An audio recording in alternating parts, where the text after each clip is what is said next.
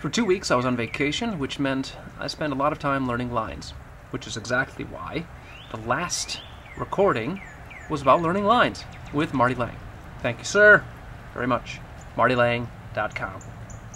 Monday, the first day back after the two week vacation, went into rehearsal with everyone, and my nerves were on fire. I was whew, nervous, worried, butterflies, terrified, name it. And I felt it. What did I do about that? There was really only one thing I could do.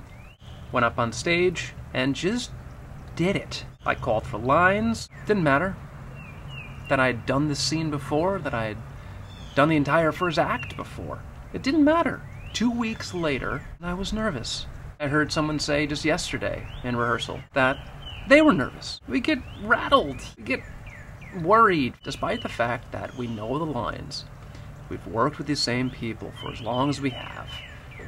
We get nervous. On the flip side of things, Thursday evening, I wasn't nervous. I was actually really, really excited. It was the first opportunity I had to run a scene fully off book. Ah, oh, it felt so good. Just drove right in there, went right after it, and bam! Didn't nail the entire scene, but it felt great! I knew the lines, I tried it. Some things worked, some things didn't work. Hey! That's what rehearsal's for. That's what happened.